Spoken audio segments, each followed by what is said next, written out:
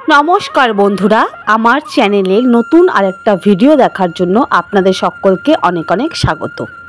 আমাদের হিন্দু শাস্ত্র মতে তুলসী পাতা ও তুলসী গাছ খুবই পবিত্র। দেবদেবীর পুজোয় তুলসী পাতা ব্যবহার করা হয়।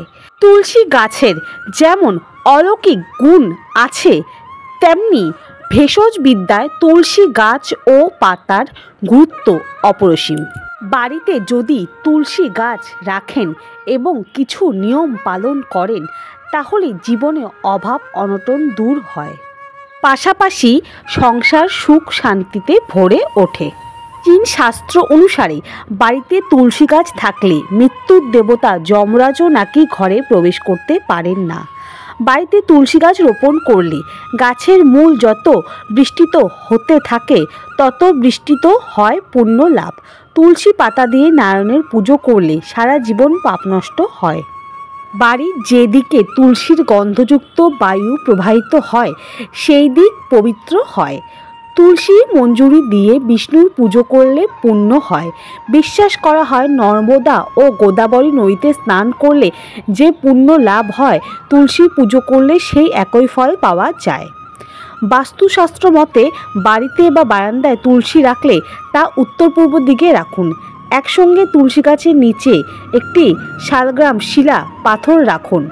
শালগ্রাম শিলাকে ভগবান বিষ্ণু স্বরূপ বলে মনে করা হয়। তাই যে বাড়িতে তুলসীর সঙ্গে শালগ্রাম শিলা থাকে, সেই বাড়িতে কখনো টাকার অভাব হয় না। আর্থিক সচ্ছলতা লাভের জন্য প্রতিদিন সকালে স্নান করে তুলসী গাছে জল নিবেদন করুন। এবং জল দেওয়ার সময় মনে মনে এই মন্ত্রটি জপ করুন।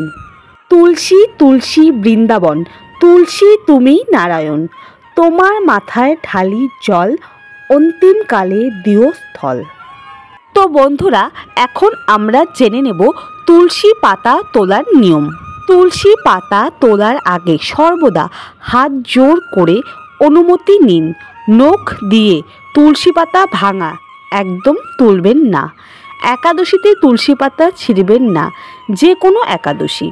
রাতে রবিবার চন্দ্রগ্রহণ ও সূর্যগ্রহণে তুলসী পাতা তোলা একেবারে উচিত নয়। এমনটা বিশ্বাস করা হয় যে, এই দিনগুলোতে তুলসী পাতা তুললে পুজোর ফল পাওয়া যায় না এবং ঘরে অমঙ্গল আসে।